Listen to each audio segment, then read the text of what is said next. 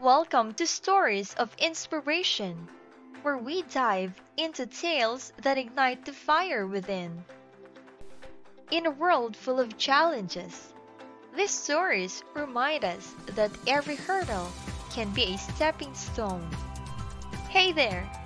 You know, success isn't just about the destination, it's the journey that makes it worthwhile.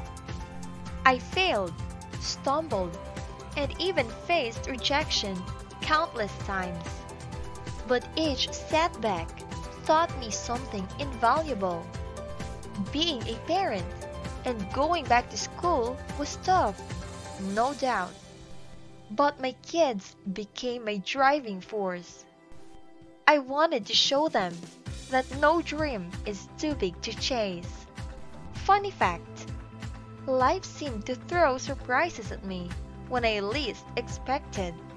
But embracing change and staying resilient helped me turn those surprises into opportunities. These stories aren't just anecdotes, they are a testament to the human spirit, the unyielding strength that resides within each of us. Remember, it's not about where you start, it's about the determination to keep moving forward. Let these stories serve as a reminder that your journey, your dreams, are entirely within reach.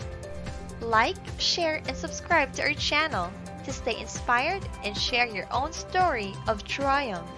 Together, let's create a ripple effect of positivity and motivation. Keep believing, keep striving, and keep inspiring. Until next time, remember, your story matters.